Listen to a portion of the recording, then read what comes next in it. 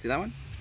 So now, I'm sure you guys know about the uh, horizontal and vertical versus slant 45 configurations here. And so we're going to show you how to do an RF Elements uh, twist port adapter for slant 45. Now the only times I recommend this is with backhauls. You don't want to do this on your uh, point to multi-points as your point to multi-point radios are not going to be orientated that way. So you see what we got here? That's horizontal uh, vertical and that one is slant 45.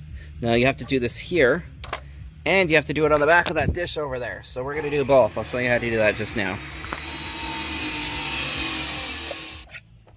There we go. Uh, Alright, so we're going to take out our screws here. And I always advise when you're taking this shit apart, keep a close eye on the way that it's supposed to look inside. That is very, very important because if you forget how this is supposed to go back together, which you shouldn't because it's pretty simple, then uh, you're to get yourself into trouble. Boop. Got greasy fingers. It's like 35 degrees out here today. Alright, what do we got here? Two, four. Last one wants to stay in there. There's always one that's a troublemaker. Troublemakers are made to disappear. There you go, six. So now we can take off the housing here. Now take a close look at the way that the uh, patch leads are here, the RF.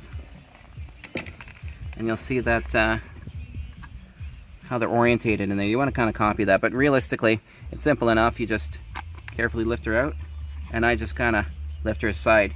Now if you look inside there, let me get a zip tie as a pointy tool. You see how it says HV right there? And there's like a key? So that's keyed in for horizontal vertical, which is your standard 90. And over here, you've got your slant 45 tab. Ah, you did a great job there, Tassos, on your design. So uh, let's take some screws out.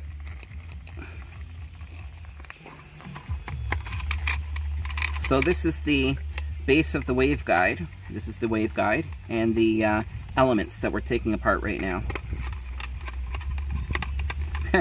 I just realized that's kind of a clever play on terms. RF elements. No shit. Alright, so I'm going to take these screws out here. I'm going to carefully take this out. You don't want to wreck it. And I'm going to put this right here. So now here you see your S45 there. I'm just going to use my X-Acto knife here. I'm going to break it out. I'm going to make sure that it's flush. And so long as it's flush, we can now reseat this. So there's your key right there, little bump. And you simply drop her back in. And you'll notice there's another set of screw holes here. Let me just uh, carefully get that out of the way because you don't want to fuck up your leads. And so now we're seated in slant rather than HV. So now, we'll just put the screws back in. I'm going to put the ones in on either side to make sure that, uh, and by the way, all these screws are pretty much the same. The only difference, oh, they are actually all the same. So RF elements are very clever in the sense that all the screws for the plastics are exactly the same. You other manufacturers that uh, allow people to monkey with your shit need to follow suit and use all the same screws. This is just intelligent design. You know, you might want to say it's the intelligent design, huh? Huh? That's right. It's almost like you might say that the guys at RF Elements might be godlike. Maybe. Not that I'm stroking any egos or anything. Send me more t-shirts, Tassos. And, uh, here we go. Alright, so we're just gonna, we've got them in there. I'm just gonna snug them. You don't want to crank shit with plastic, otherwise you're gonna break your threads, and then you're fucked. Alright, so now, verify now we want to be careful when we put this back together not to wreck our patch cords. So we know that these guys go in like so. So I'm going to pinch them into the center like that.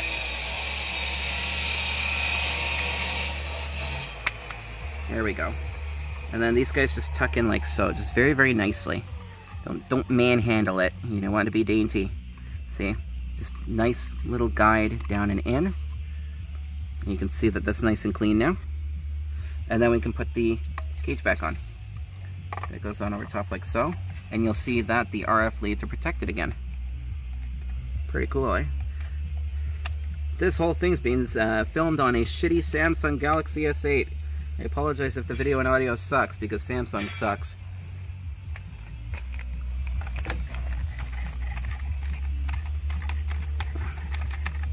Here we go. Start putting the screws back in. It's that simple, and then we'll do the dish in just a second.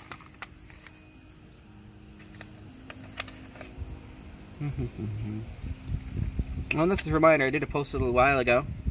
Uh, if any companies want to see their uh, company logos in any of my videos, simply sell me a, a or send me a XL shirt.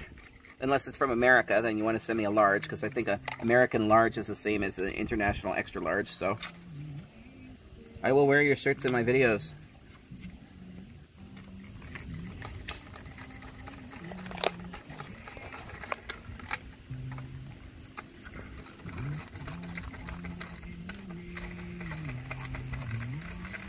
We go. So that's that. Now we go to put the radio on here, that's an entirely different story. We got to put the GPS antenna up here, wrap it. I'll show you that after. But first things first, let's get the dish prepped. Dish, that's for Slant 45. Oh, and look at that. For all you dough heads out there, stainless steel hardware, use anti-seize thread lubricant. If you don't do that, your life's going to be hell. Because you get uh, the metals, with being dissimilar, will react with each other, and then they'll burr and they'll corrode, and it'll be stuck together forever. There we go. Let's get let's change this guy for Slant 45 now too. This one's slightly different. Okay, so this one's Phillips. So we're gonna use a small Phillips. And I think the other one's a Torx. It's uh should say on my bit what size it is. It's a T10. That's a T10 for that. Okay, so we're gonna get in here with a small Phillips. I think that that is a oh shit, I can't remember the color codes for Phillips. Is it orange? This guy here is a little bit more complex.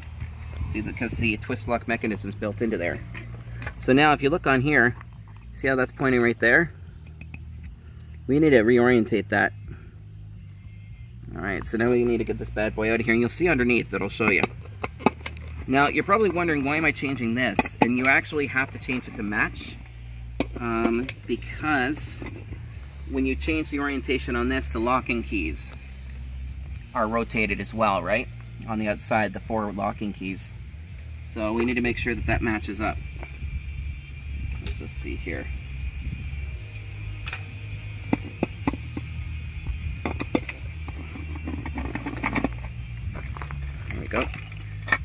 This guy out, I believe that there's an indicator here. If I can't find it, you're gonna be real fucked finding it. All right, here we go. So we'll look underneath here and you'll see that there is a key on that, right? And that key is right there. So if we want to rotate it now, see how it fits there? Try to rotate it to, see, to put this to point over top of that. Huh, it's not going down for some reason. Hmm, why would that be? Let's uh, dump our screws here, and now we're going to break this off. What do I got handy that'll work? Let's just use these uh, Irwin brand vice grips. There, gone. Stick this back on so that the point is going over this instead now. Look at how well that fits. Now we can put the screws back in.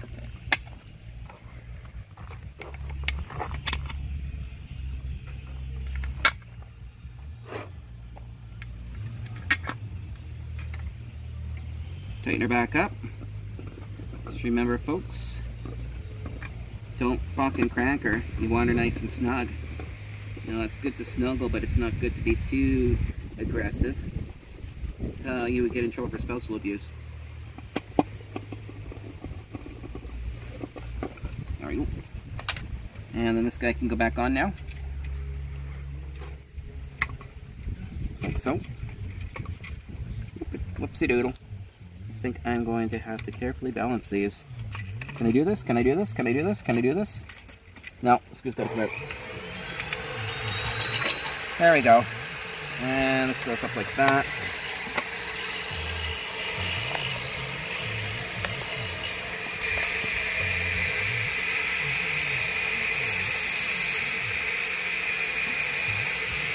There we go.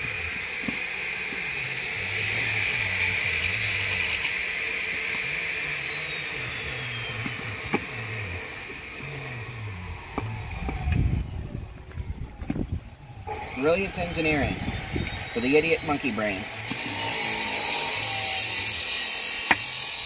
So now that she's all done up. Where we go here? Here we go. Slant 45.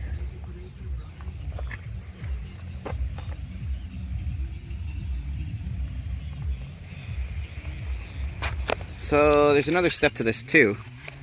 Let me, I'm gonna take this one because it's already assembled. So, how do you put these guys together now? So you see this? I'm gonna place my hand on here. Boop.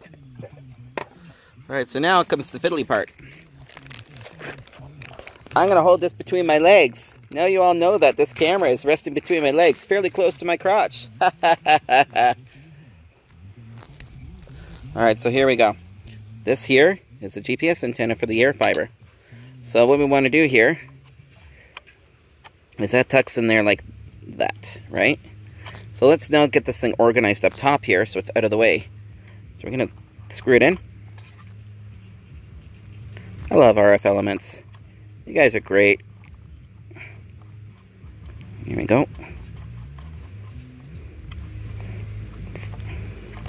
Hope I don't get in trouble or fucking tagged for the background music right here, because, uh, you know, we're living in uh, Nazi Germany with fucking YouTube these days.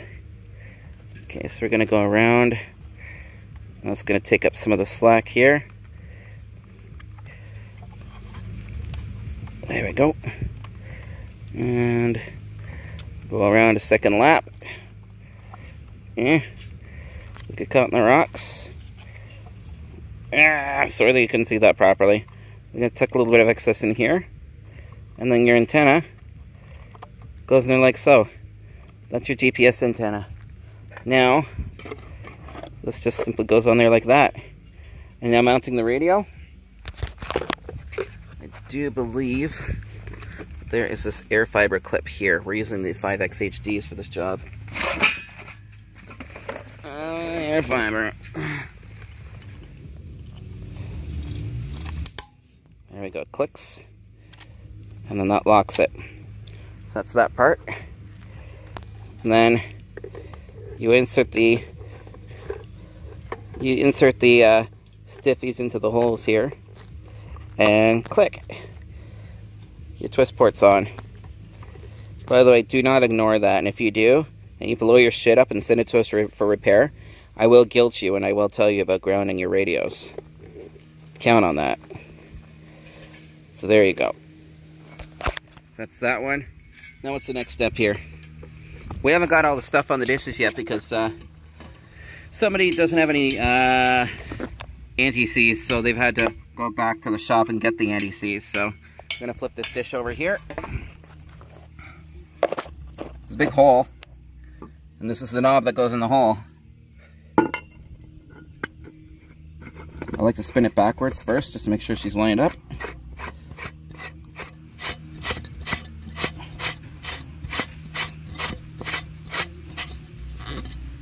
Cool. That's uh so that's in there now. Feed horn. Cool. And as soon as he gets back, I'll be putting the uh, hardware on the back of the thing in the orientation that it's supposed to go in. Yay.